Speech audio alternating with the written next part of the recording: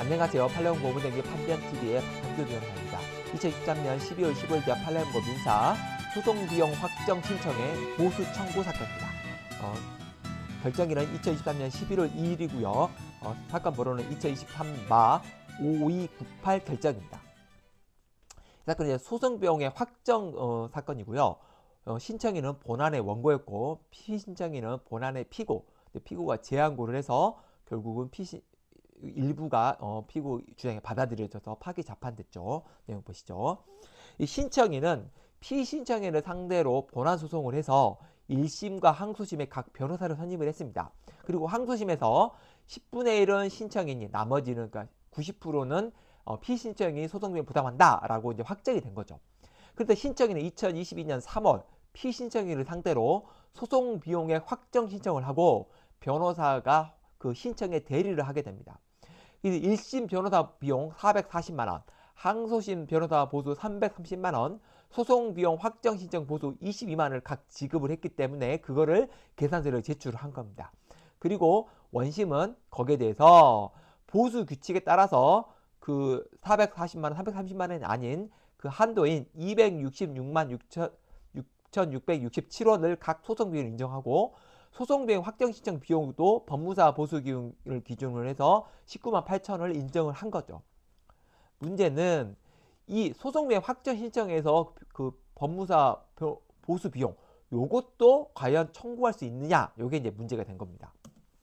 대법원 뭐라고 하냐면 본안 소송에 관하여 위임받은 소송 대리인의 대리권은 소송 비용의 확정 절차에서 미친다. 그리고 본안 소송을 위임받은 변호사가 소송 비용의 확정 신청을 하면서 그 대가를 별도로 지급받거나 지급받기로 하였다면 그 비용의 한도에서 포함될 수 있다.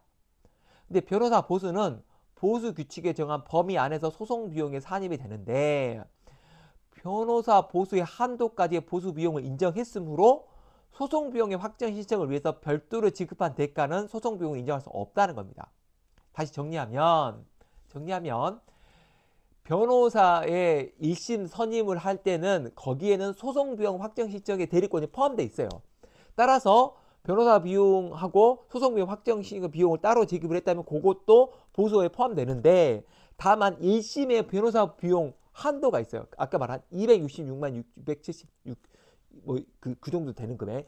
그 금액을 다 인정을 했다면 거기 안에도 변호사 그 소송비용 확정 신청이나 비속도 포함되어 있다고 보는 것이 맞다는 겁니다. 왜냐하면 1심 소송 비용에 그 변호사 소송 비용의 신청가는 대리권까지 포함되어 있기 때문에 결국은 한도까지 다 인정됐다면 추가로 더 그 소송 비용 확정 신청에 대한 보수는 인정할 수 없다라는 게 대법원의 판단인 거죠. 그래서 원심을 일부 파기하고 그 부분을 빼고 인정하는 겁니다.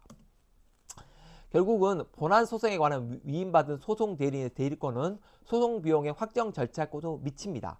그래서 소송 비용 확정 신청에 따른 대가를 지급하기로 했다면 이거 소송 비용으로 받을 수는 있어요. 그걸 헷갈리시면 안 됩니다.